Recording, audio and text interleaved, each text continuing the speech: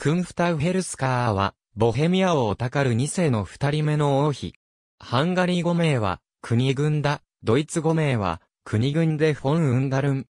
父方の加盟をつけて、クンフタ・ハリチスカーと呼ばれることもある。父ロスチスラフは、キエフルーシの皇族で、母は、ハンガリー王ベーラ4世の長女、アンナ。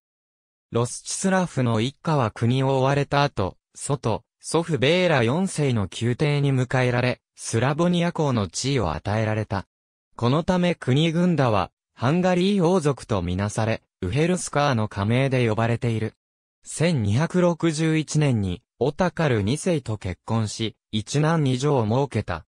1278年、マルヒフェルトの戦いで、オタカル2世が、ローマ王ルドルフ1世の軍に敗れて戦死すると、ボヘミアの領土は縮小し、プラハ周辺の州を保持するだけになった。